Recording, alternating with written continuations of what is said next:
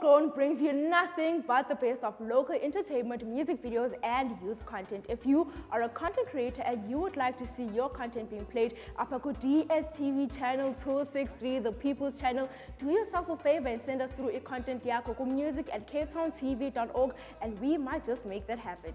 If you're an artist and you wish to be interviewed right here on Cape Town TV, perhaps perform, all that you can do is send us an email on music at capetowntv.org with your biography and the links to your music. And that interview might be airing right here on the show, or you might be featured. You can never know. music at capetowntv.org is the email to use wena ga o batla romela content